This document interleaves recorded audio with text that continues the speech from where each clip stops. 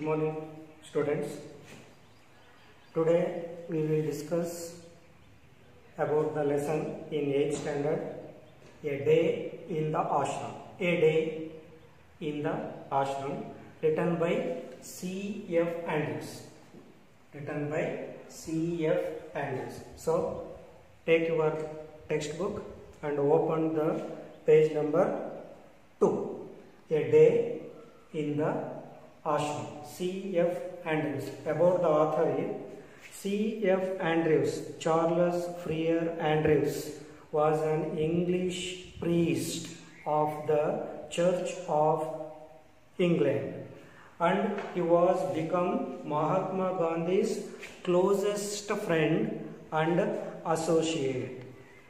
Andrews reveals his experience while he stayed in the ashram. Shanti Niketan was founded by Rabindranath Tagore. It is a school with a difference where students learn with great joy. So, this is the information of the C.F. Andrews, the writer of this lesson, A Day in the Ashram. So, that ashram was the Shanti Niketan, founded by Rabindranath Tagore, who was written our national anthem. Which was our national anthem? Yes, Janaganamana is our national anthem. The that same poet was founded a, an ashram that is Shanti Niketan. So C.F. Andrews visit that ashram one day. So this is the lesson. So I read some uh, three to four paragraphs to listen carefully. Words cannot picture to you the beauty of Shanti Niketan, our own poet and teacher, whom we call Gurudeva, has named it, in his song, The Darling of Our Hearts, and it is worthy of the name. All who have visited the ashram, old and young alike, have felt its inner beauty growing more and more upon them. If I were to describe to you one day in the ashram the boys, that would perhaps best bring best bring home to you its inner beauty. Long before sunrise, like the birds in our own amloki grows over, our boys are awake. The choristers are the first to rise and they go round the ashram singing their morning hymn.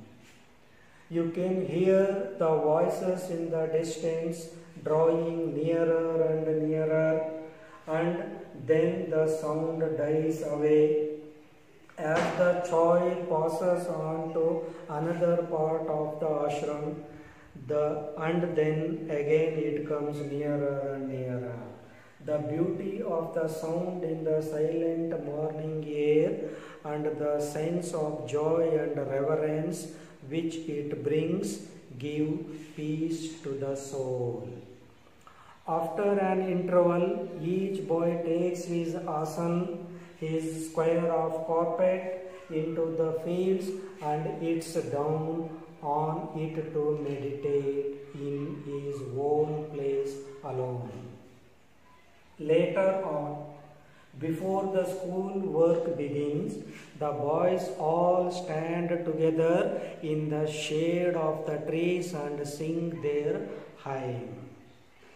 Till about half past ten, the work of the school goes on. We have no classrooms. The boys sit with their teachers in the open air under the trees. There are no larger classes. A group of eight or ten boys are seated around the teacher asking him questions. Very few books are used. a greater part is carried on through conversation. The boys soon learn to open out all their difficulties to their teachers. And the teachers get keenly interested in the boys' questions and answers. Such living education can never be done. So, in these four paragraphs, you read silently and identify the new words. So, you identify the new words. Yes, you are told these are the some new words we have find. So, now explain the lesson. Words cannot picture to you the beauty of Shantiniketan. So, we can't told any words about the Shantiniketan. So, what is Shantiniketan? Yes, Shantiniketan is a name of ashram founded by Rabindranath Tagore. Our own poet and teacher, our own poet, our means, our means the C.F. Andrews told to us, our own poet and teacher whom we call Gurudeva. So, whom we call Gurudeva? So, who was Gurudeva? Yes, Gurudeva was the Rabindranath Tagore, the founder of the founder of Shantiniketan. Has named it in his song, the darling of our hearts. So, the members or the students told the Gurudeva he was the darling of our hearts and it is worthy of the name because he was the greatest person. Rabindranath Tagore was a greatest person. That's why the worthy of it its name. All who have visited the ashram, all who have visited that ashram, old and young alike, old and young, old and young alike have felt its inner beauty. So that place was very very interested place and growing more and more upon them. So that's why the poet told us the words cannot picture the beauty of the Shanti Niketan. If I were to describe to you, so he described that one incident, described to you one day in the ashram when he visited that ashram, the boys that would perhaps best bring home to you its inner beauty. So, anytime we will visit that ashram, that ashram was very attractive to everyone. That is, that place was very beautiful place. Long before sunrise, long before sunrise means early morning, like the birds in in our own amloki grows. Amloki means a name of a tree. The birds have flew on that time. Our brothers are awake. Our boys are So the in the ashram, the boys get up early in the morning. The chorister are the first to rise. So, chorister means a group of members who told the early prayer in that ashram. That group of boys, that group of boys wake up early and they go round the ashram the member of that chorister they go to the round of the ashram and singing their morning hymn Haim means prayer. Haim means prayer. That members had pray that song and go to the around of the ashram. You can hear the voice in the distance. Which voice? Yes, the chorister sings the prayer. That voice we heard in the distance. Drowning, so drawing nearer and nearer. When the group of the members came to the near the ashram, the voice was very clearly and clearly we heard that prayer and then the sound dies away. When the boys go away for the ashram, the voice was also dies because they not clearly heard in our mind. As the choir passes on to another part of the ashram and then again it comes nearer and nearer because the boys were going around the ashram. When the boys came to near the ashram, the voice was clear and loud. When they far away to the ashram, the voice was dies. So that voice was very clearly we heard. The beauty of the sound in the silent morning air and the sense of joy and reverence with it brings. Reverence means respect. So, when the group members are here, the singer of a group, the sing by their hymn, that hymn was very beautiful they sing. That's why at the morning session the voice was clearly heard to our mind. So they give peace to our soul. That sing gives to very peacefully to our soul. After an, an interval means the prayer was completed each boys take his asan. Each boys take his asan. Asan means ಚಾಪೆ ಅಂತ ಹೇಳ್ತೀವಲ್ವ that Hassan his square of carpet the square of carpet into the fields and sit down into the meditate so after the prayer the boys came the ashram and take their asan or square carpet and go to the field and sat the field to meditate. So, what is the meaning of meditate? Yes, meditate means to pray silently. To pray silently in his own place alone. Later on, before the school work begins. So, after the meditation, after the meditation, the boys all stand together in the shade of the trees and sing their hymn. After the meditation, the boys, all the boys in the ashram, to gathered in the shade of a tree and they pray their hymn till about half past ten. Till about half past ten means ten thirty. Half past ten, the work of the school goes on. So the school begin to start there.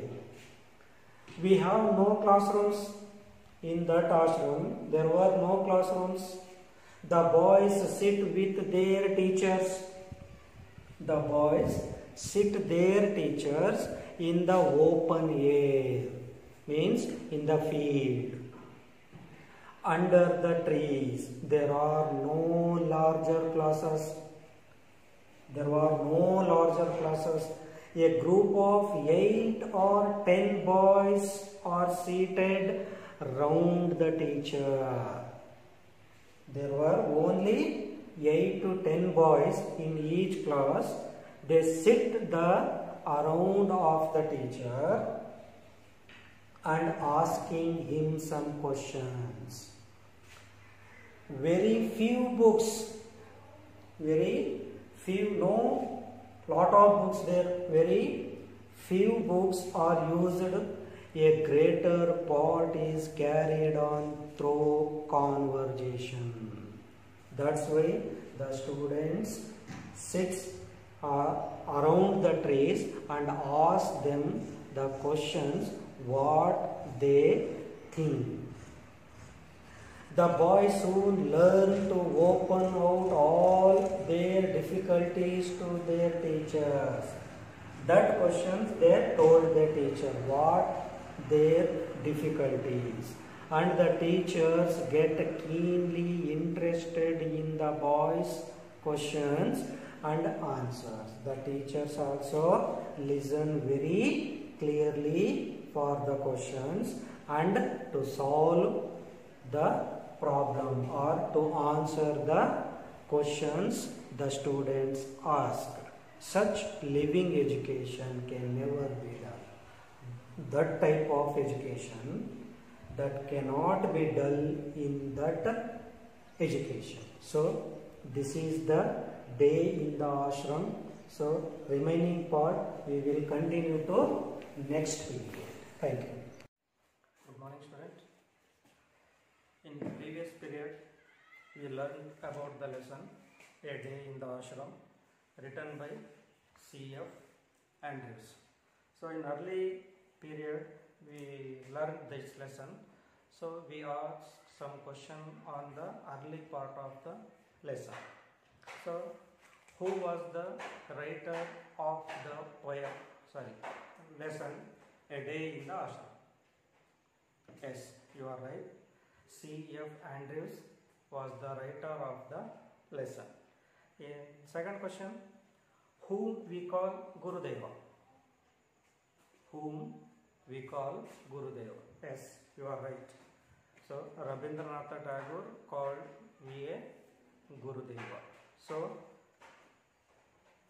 in the remaining part of the lesson, so we read aloud in uh, remaining part so you listen carefully yes paragraph number 5 when the morning work is over the boys bath and go to their meal about 2 o'clock in the afternoon the classes begin again but at this time the work is chiefly with the hands as well as with the mind. Handwork is practiced and the boys' own natural tastes are very soon discovered.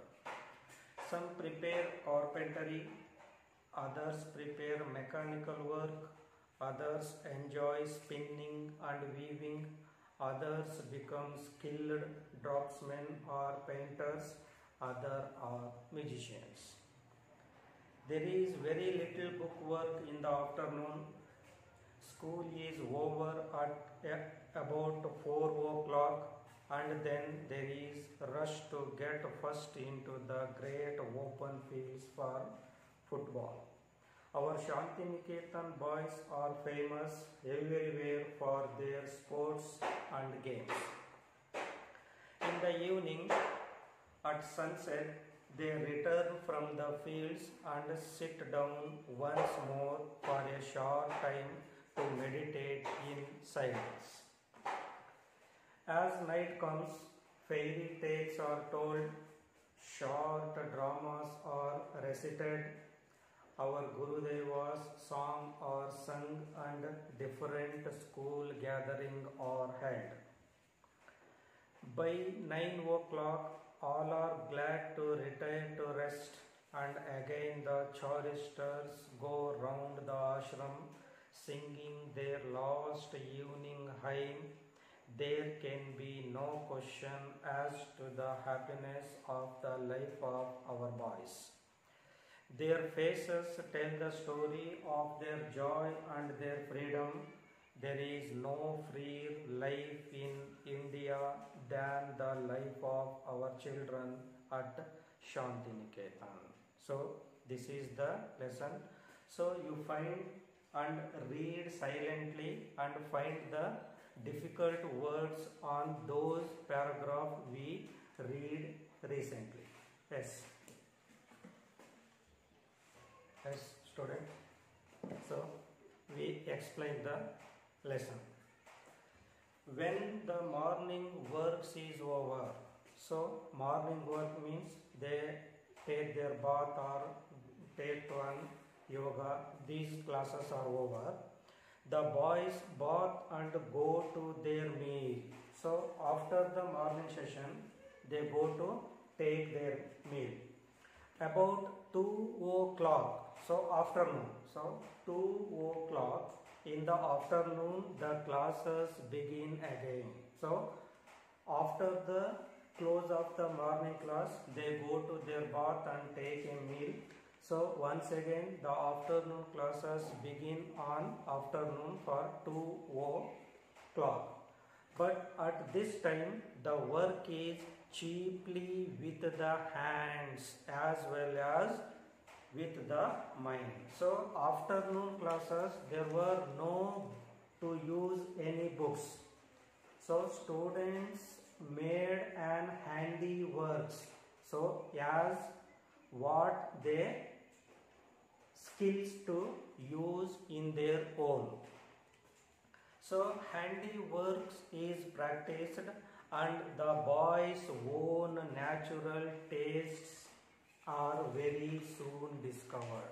So in afternoon class the ashram students made an handy works to their own tastes.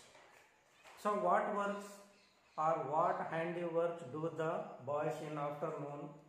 So some prepare carpentry. So some students prepare the carpentry work. So means maragalasa. So some students made and take some woods and to design of their own tastes.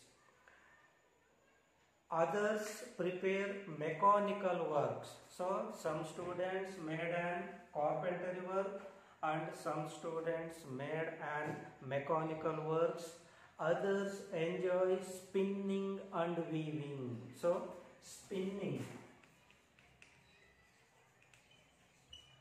and weaving. So what is spinning and weaving in Kannada? Spinning means ne or ಹೊಲಿಯುವುದು and weaving also the same meaning so some students prepared on spinning and weaving others became skilled draftsmen are a painter. So, draftsman means a designer Draftsman means a designer so ಅಂದರೆ ಚಿತ್ರಕಲೆಯನ್ನು ಬಿಡಿಸೋದು ಅಂತ ಅರ್ಥ.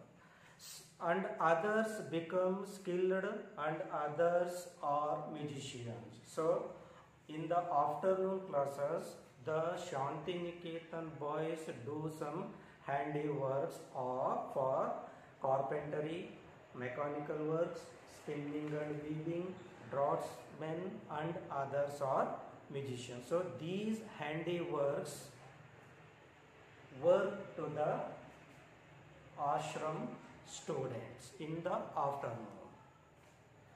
There is very little book work in the afternoon. Yes, this is very little book because they used their own tastes or own skill to the handy works. That's why they use some little books on the afternoon classes. School is over at about 4 o'clock. So afternoon class so closed on a 4 o'clock and then there is a rush to get the first into the great open field. So rush means rush means run. So after the complete of afternoon class, the boys run to the open fields and their their play their own games like a football. Our Shanti Niketan boys are famous everywhere for their sports and games. So the Shanti Niketan boys were are famous for the sports and games. So this is the work or after the close of the school the boys do their own games. So next paragraph in the evening. So morning class is over, afternoon class is over. So the evening. The evening at sunset. So what is the opposite of sunset? Yes, the opposite of sunset is sunrise. Sunrise. So in the evening at sunset, they return from the fields. So after the over of afternoon classes, the boys, all the boys go to the field. So it at the evening or at the sunset, all the boys return from the field and sit down once more. So all the boys return to their place and sit their own place for a short time to meditate in silence. So what is the meaning of meditate? So already we told in the previous period. So meditate means to pray silently.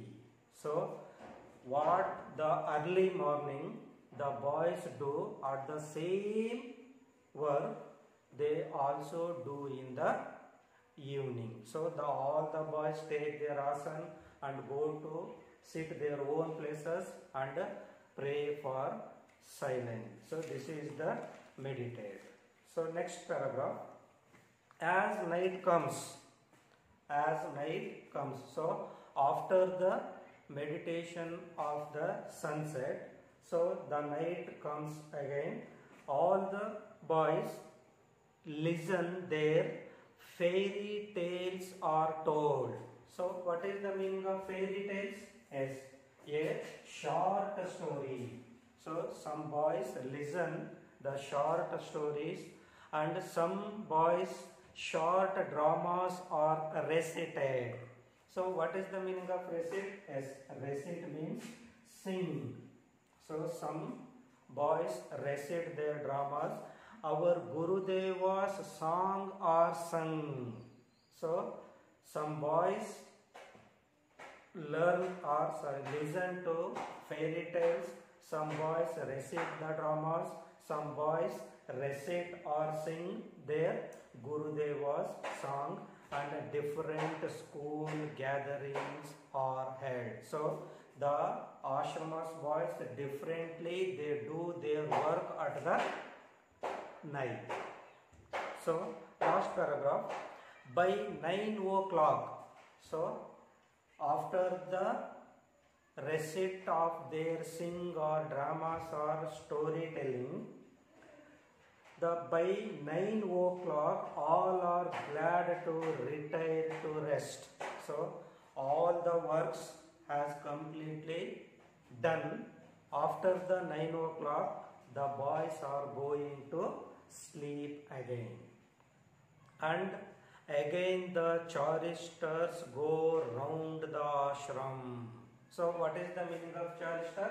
Yes, chorister means the member of the chore. So who sang their Gurudeva's pri- uh, primary song or a early song. So the member of the chores once again go to the around their ashram and singing their last evening hymn. Hymn means the praise of the God. So the chorister or the member of the chore sing their God's prayer once again at the night. There can be no question as to the happiness of the life of our boys. So this is the very happy movement of the students in the ashram. Their faces tell the story of their joy and their freedom. So they were full freedom and they were very joy. Joy means happy.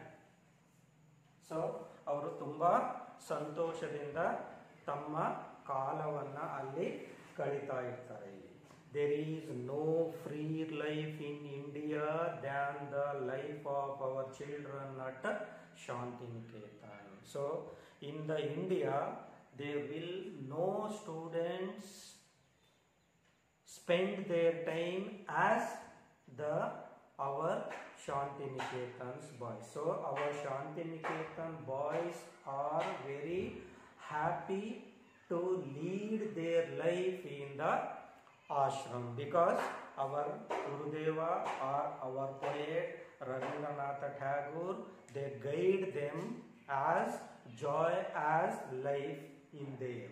So the our ashram students very happily to live and learned they learned in the ashram. So this is the lesson a day in the ashram written by cf andrews so this is the different from today's situation. So our in today's class we gathered some uh, rooms or uh, but in the ashram there is no classrooms. There is no classrooms. So the boys are freely learned on the ashram so that's why the boys or the students in the ashram lived very happily. So this is the lesson. Thank you